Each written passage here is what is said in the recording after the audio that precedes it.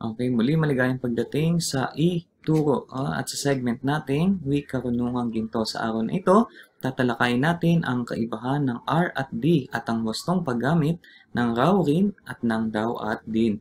Muli ang ating batayan ay ang Filipino ng mga Filipino ni dating Commissioner at National Artist na Virgilio Almario at ang Diksyonaryo Centennial ng Wikang Filipino ng Komisyon ng Wikang Filipino rin. Okay? So, simulan natin ito. So, raw daw daw raw rin din, din rin. Okay? Kailan ba natin ginagamit ang raw at rin? No? Para ito kasi isa rin to sa mga kinalilituhan natin, no? Pag sinusulat, pag ginagamit kahit pagbigkas. Ginagamit natin ang raw at rin o yung R, no? Nahirap na hirap ako sabihin kung ang sinusundan sinusundan salita ng mga salitang ito ay nagtatapos sa patinig. Madali lang ang patinig ha. Ang patinig ay pang kinder. A, E, I, O, U. Pag nagtatapos sa mga titik na yan, gagamit tayo ng raw o rin. Okay? Halimbawa, marami raw OFW ang napauwi bunga ng pandaigdigang krisis.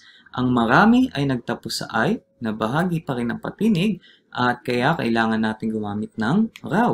Kasunod, sa panahon ng pandemya, ay traffic pa rin sa EDSA, no? which is weird. Yan. Pero dahil nagtatapos ang pa sa A, ay kailangan natin gumamit ng rin. Okay? Kasunod natin, syempre, ay yung daw at yung din. Ginagamit naman natin ang daw at din kung ang sinusundang salita ng mga ito ay nagtatapos sa katinig. Know? Marami yung katinig natin. Syempre, pag hindi kasali sa A, E, I, O at U. Halimbawa, ang paglilipat daw ng nakalaang pondo ang dahilan ng paghiling ng palasyo ng karagdagang kapangyarihan. Ang paglilipat ay nagtapos sa T, no? At ito ay isang katinig, kaya gagamit tayo ng daw. At pangalawang halimbawa, kung may kinalaman din ang individual na pagsunod ng mga Pilipino sa pagpigil sa pagkalat ng sakit. Okay?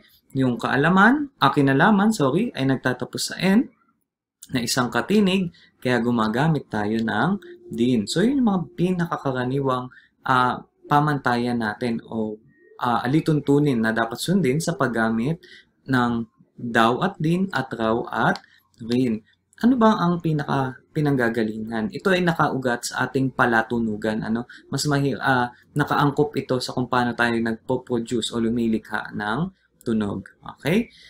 so, sana may natutuhan tayo dahil ang wastong paggamit ng salita ay magbubunga ng wastong pag-unawa. Kaya kung alam mo, ituro mo. Magandang araw sa ating lahat.